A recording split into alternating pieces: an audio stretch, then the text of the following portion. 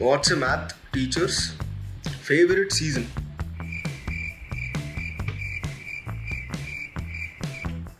I have no idea.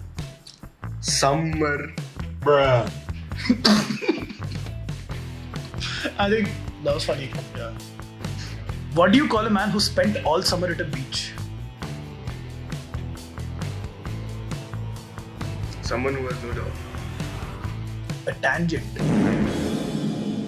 A tangent. Watch the full video on YouTube.